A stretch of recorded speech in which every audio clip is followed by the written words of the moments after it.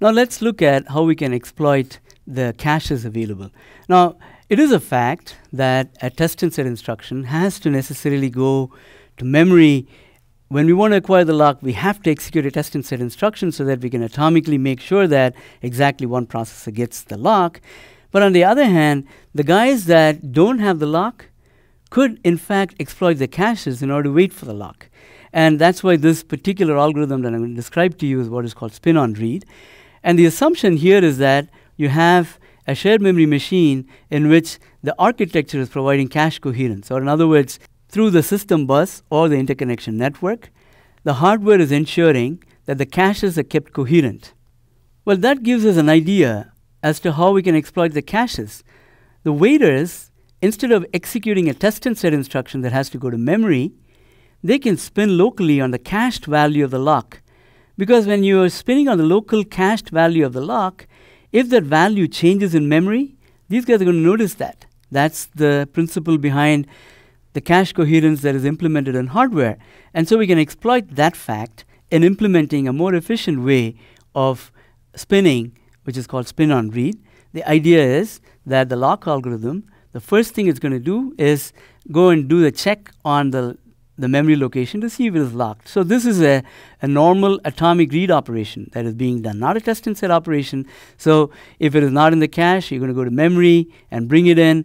And once you bring it in, so long as this value doesn't change, we're going to basically looking at the value that is in my cache in order to do the checking. And I'm not going to go to the bus, and therefore I'm not producing any any contention on the network. And there could be any number of processes waiting on the lock simultaneously. No problem with that because all of them are going to be spinning on the local value of L in the respective caches. And so if there is one processor that's actually doing useful work and it has to go to memory, it's not going to find that to be a problem, no contention on the network from the waiting processes because of this. Now, if the one processor that was having the lock eventually releases it, they're going everybody is going to notice that. And so if I'm waiting for the lock and I've been spinning here locally in my cache, when the, the lock is released, I'll notice that through the cache coherence mechanism, I'll, I'll, I'll break out of the spin loop.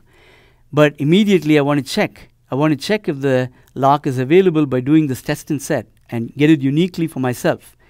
So if multiple processes are trying to execute this test and set simultaneously, it's possible that somebody else is going to beat me to the punch, and if that happens, I simply go back and and and do the looping on my private copy of L and wait for the guy who beat me to the punch to release the lock eventually so that I can get it. So that's the idea. The idea is you spin locally.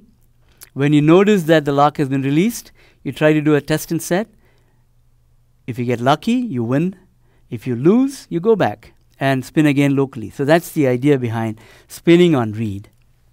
The unlock operation, of course, is uh, pretty straightforward. The guy that wants to unlock is simply going to change the memory location to indicate that L is no longer locked. So that's all it has to do, and then and then uh, the other processes can observe it through the cache coherence mechanism and be able to acquire the lock. But note what happens when the lock is released. When the lock is released, all the processes that are stuck here in the spin loop, they're going to go and try to do this test and set operation at the same time. And we know that test and set has to bypass the cache, and everybody is hitting on the bus, right? Everybody is hitting on the bus, trying to go to memory in order to do this test and set operation.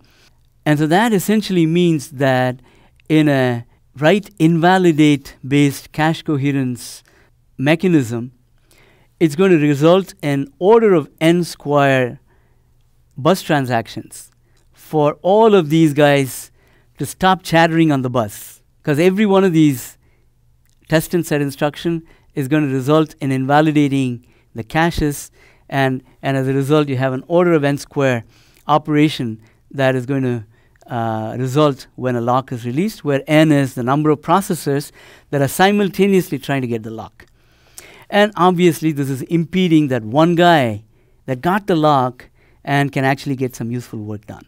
And this is clearly disruptive.